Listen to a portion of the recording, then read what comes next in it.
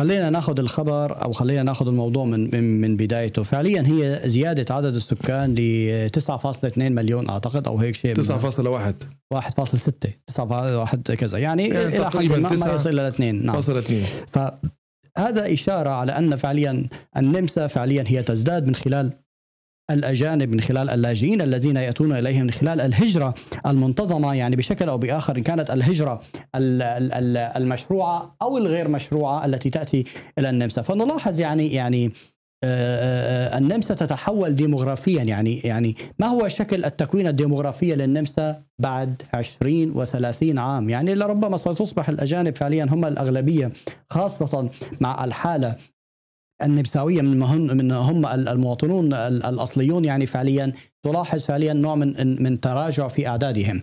يضاف على ذلك آه، منح الجنسية ل ألف شخص والغالبية كانوا سوريين. يعني بصراحة هذا هذا هاي هاي أنا بهنيهم صراحة للسوريين لأنه فعلا اللي بيحصل على الجنسية النمساويه بده يكون مجد جدا وفعلا يعني عم يتعب جدا لحتى يقدر يحصل على الجنسية. آه، آه، لأنه الجنسية من الأمور الصعبة الجنسية النمساوية من أصعب الجنسيات بالاتحاد الأوروبي وهذا شيء موجود يعني ضمن الإحصاءات والتقارير اللي إحنا بننشرها تباعا آه، كل فترة والثانيه ولو جه اليمين الم...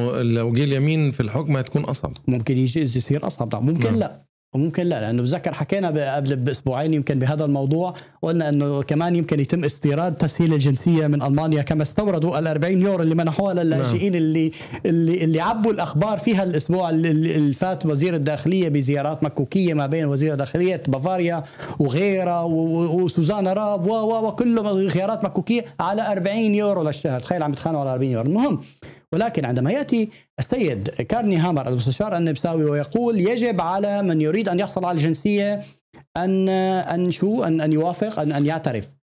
أن يعترف. بالديمقراطية والاعتراف ب... ب... طيب بإسرائيل. شيء طبيعي بده يعترف فيها. أما الاعتراف بإسرائيل أو بغير أو إسرائيل. الالتزام بالديمقراطية والاعتراف تمام. بإسرائيل. الاعتراف بإسرائيل بصراحة أو غير إسرائيل نحن مشان ما نحدد آه هذا شيء مخالف للدستور. مخالف للدستور النمساوي لا يوجد بأي جنسية بلد الاعتراف بدولة ما. طب بركي بدنا نعتبر نعترف نحن طب بركي أنا جنوب الصومال لسه ما اعترفت فيه أو جنوب السودان آسف ما اعترفت فيه. هل فيني أحطه بجنب بجانب ال- الاعتراف؟ أنا عم بوقع على حصول الجنسية النمساويه إسرائيل وجنوب وجنوب السودان والموزمبيق والم- وجنوب إفريقيا وبدي أعترف فيها. طب بركي أنا أمريكا ما اجى على بالي أعترف فيها مثلا.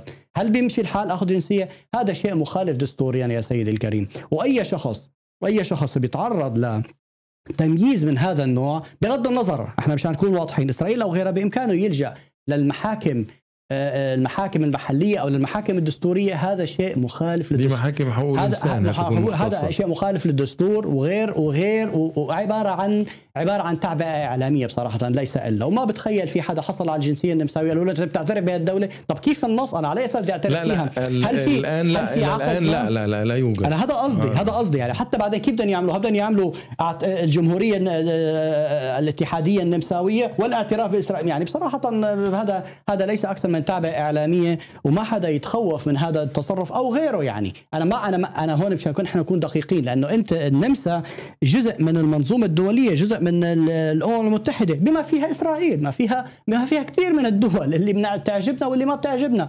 فالنمسا جزء من هاي هذه المنظومة. فأنت اوتوماتيكيا لما بتحصل على جنسية النمسا أنت موافق على كل هالدول. يعني أنت موافق على كل ما اعترفت فيه النمسا لأنك أنت صرت معك وثيقة من النمسا. أنت نعم. حصل هذا الشيء بصراحة يعني ليس أكثر من شو إعلامي يحاول السيد نهامر والسيدة سوزانا راب وزيرة الاندماج يعني أن تقوله.